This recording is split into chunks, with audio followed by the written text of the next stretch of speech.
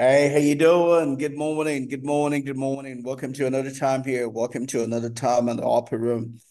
Another opportunity to pray, another privileged opportunity to pray. So good to have you here. So glad you came. Uh, so still back on what we're studying. We've been doing a study through the book of Proverbs when chapter 6, verse 14. And I'm just going to jump straight away to Ephesians. We've been trying to take it from Ephesians. Uh, I'm going to jump into um, verse 20 of Ephesians chapter 4. And it says, But you have not so learned Christ. Hmm. He's saying that he's saying that these are the things the Gentiles do. They do it because they lack knowledge. Their their eyes of their heart is darkened. They have no more feeling or they or they don't have any conscience towards say that's why they do it. And because you have been called out from that, you're not supposed to be like Gentiles, right? What is mark, marking at the Gentiles must not be seen in you because you have been born again, you have been called out from amongst them, right? He says, We have not learned what the Gentiles are doing of Christ. We have to be different, we have to be separate, right? we we cannot be like them there's we are the called out ones. That's the word church. Church means called out.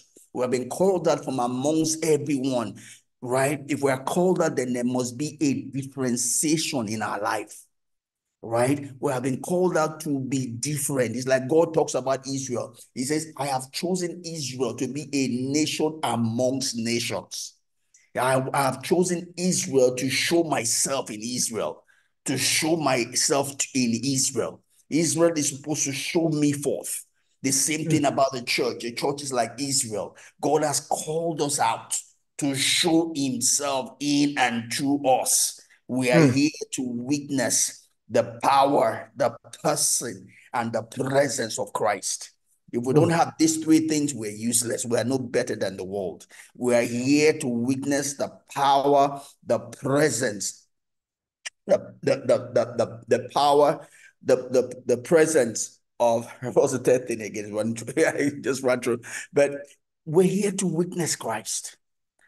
We're here to witness Christ, and we must. If we're witnessing Christ, you cannot be like the world. Again, in Antioch, they called them Christians because they saw Christ in them. It wasn't just a name they just called, they just call any name. Is they are like Christ, they are the like the one that died. Again, the, the, the disciples were, were once held down, beaten, and all of that. And they somehow they notice, ah, these people are like people that have spent time with Christ. The time they spent with Christ differentiated them. They were not, they were not the same because they spent time with Christ. You know, so in verse 20 year of Ephesians 4, it says, We have not so learned of Christ mean hmm. that we're supposed to learn of Christ. Christ is hmm. supposed to make a differentiation in our life. We cannot remain the same after we have met Christ. Otherwise, our hmm. meeting him is, is in vain. Otherwise, we did not really meet him. Because you meet Christ, you will not be the same. You know, a lot of people will come and say, We are sinners saved by grace. Yes, we are we were sinners. When we met grace, grace changed us. We did not remain the same. Mm-hmm. After Calvary, you are no more a sinner. You are a saint. No, no, no, no, Yeah. You are a saint after Calvary. Anybody that's saying you are a sinner after Calvary is trying to make excuse for their shortcoming. Mm. Of expectation is that when I meet Christ at the cross, I don't remain a mm. sinner. Something changed. Something oh, must yeah. change in my life. I cannot be the same after I've met Christ. Again.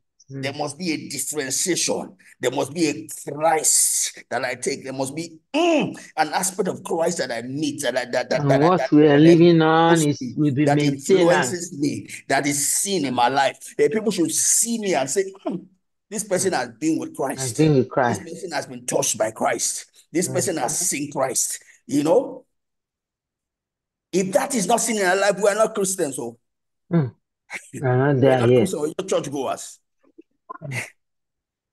Because the essence of being a Christian, the essence of being to Calvary is that Christ lives in mm-hmm. and through us. Second mm-hmm. Corinthians chapter 5, the Bible says that he died for us so that the life we live now will live unto him. Mm-hmm. Right? Awesome. And God will help not unto ourselves. You know, mm-hmm. Galatians chapter 2, verse 20, I believe it says that I have been crucified with Christ. Yeah. The me is dead. It is mm-hmm. Christ that lives by faith through me. Yeah. It is Yeah. Christ that lives by faith through me. It is not my decision. It is not what I want. It is, oh, I like this. I don't like this. Oh, Mm. this one feels good. Mm, subject all our thoughts, our mind, Yes. our Yes. likes to the likeness of Absolutely. That's what a, that's what a Christian is. Anything other than that, you you are the is a it's a carnal Christian, and there's no Mm. place for a carnal Christian in heaven. Mm. Flesh and blood shall not inherit the kingdom of God. Mhm. Going to heaven is not automatic. There's no place for a carnal Christian in heaven. Mm. There's no place for flesh and blood in heaven. Amen. Uh, So looking at uh, Ephesians uh, chapter 4, verse verse 20, you know, it's it's the fact that, you know, it's like when Jesus Christ is, was about leaving, you know, he breathed unto the disciples and said, receive the Holy Ghost. Mhm. The question is, did they receive the Holy Ghost at that point in time? Or did they receive the Holy Ghost on Pentecost Day? We, I, I can't tell you I know the significance, but I will know for sure they received the Holy Ghost on Pentecost Day. Jesus breathed unto them and said, receive the Holy Ghost. Yeah. The way that the, the church is ordained, the church is ordained to be a separated one. John 14, Mhm. 17, 17 says, sanctify them by the truth. Your Mm. word is truth. So God says, separate them. Jesus was praying to Jesus. He says, separate my people, separate this one, separate the church by the truth. The truth is what's supposed to separate us, supposed to sanctify us. That's what Jesus is the truth. So Jesus is Mm. supposed to sanctify us. The word of God is the truth. It's supposed to sanctify us. Yeah. What mark us out is word of God. It's Mm. not person things or does not think, oh, I think it's right. I think it's not right. Mm. Oh, the, the way I feel, I think the Holy Ghost is telling me this. Oh, the Holy Ghost told me this in a dream. Mm. None of those mean anything. That was not what Jesus Christ says you separate the church by. Mhm. sep- by the word, by the word, by the Mm. word, Word of truth. Word of Word that is already written. It Absolutely. His word is canon, canonized, that is settled. Absolutely. There's no new revelation that will go against the word of God. no. We can't say because oh, it's a new generation, so they see the word of God is obsolete. that's a that's a trap of the enemy. That's the way to hell. The word of God is settled in heaven. That is what makes us Christians. It's not the church building. It's not the name. It's not who our ancestors were. It's the hmm. word of God. That is what separates us out to be God's own. That's what separates us out to be Christians, people like Christ. That's what separates us out. The Jesus Christ says, I am the way, the truth, and the life. That is the way. The way is the word, is the way of the word. Hmm. The truth is the word of God. The light found in the word of God. It's not a religion. It's not an ordinary organization. It is one that is marked out by the word of God. And that word of God needs to be taught. Mm. First of all, that word of God is taught to every one of us by the Holy Ghost. But we are all at different levels of growth and therefore different levels of being able to receive from the Holy Ghost. Therefore, that's why the Bible, God calls people into ministries. It says he has called the sevenfold to prepare people for the work of the ministry. Right? We have different at different levels of growth and intimacy with God, and we can learn from one another. We can learn from one another. We can learn from each other's experience. We can learn from each other's um, adventure in God. But that adventure has to be defined by the word of God. It's not going to be a new Mm. knowledge. It's not going to be something that will go against God's word. Right? It has to be judged by the word of God. Right? But we can learn from one another. That's why God has called people to be apostles, to be prophets, to be teachers, to be evangelists, to be pastors for the work of the ministry. Right? To prepare us for the work of the ministry, to mature us. That will not be babes all the days of our life.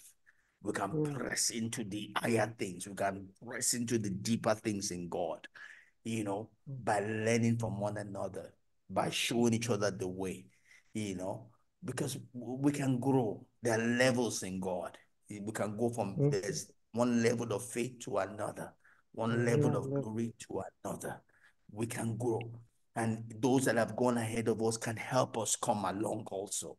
Right? That that is what God expects fro- from, from us. Mhm. That is how we learn of Him. That's how we become more like Him on a daily basis. Mhm. May God help us in Jesus' name. Amen. It is God, not by works of righteousness, absolutely, but by His grace. His completeness in us is not by what we do Mm, or what we desire to do, but His grace. eh, Before we were, before we were yet sinners, He died for us. So He knew us from the beginning to our ending. So that's why we don't have a place to run away from. Bible says, Where will I run away from? Even if I go under the pit, He's there. If I go into the, the, the, the clouds, He lives there. mhm, So there is no place we run away from this God, and there is mm, no way we deny Him. We mm. can't deny Him because we were created through Him. If not for Him, we wouldn't have been alive. Yeah. So for Him to have traded Himself for us and brought Himself just like us to die and to just for us to have understanding. So I pray the heart of our understanding will not be darkened. Jesus' name. Lord, the Lord God, who gave us a mandate to be a living soul, will make us adhere to unction to function well. Amen. Amen. Even as we use the word, pray to prosper us, to give us a edge above others, and through that, many others will come to the realization of Jesus Christ. In Jesus' name. Amen. So shall it be in Jesus' name. Amen. Ekpele, have a great remaining of today. Uh, you too. you. God bless you. See you tomorrow, God willing. Amen. Yeah, shalom.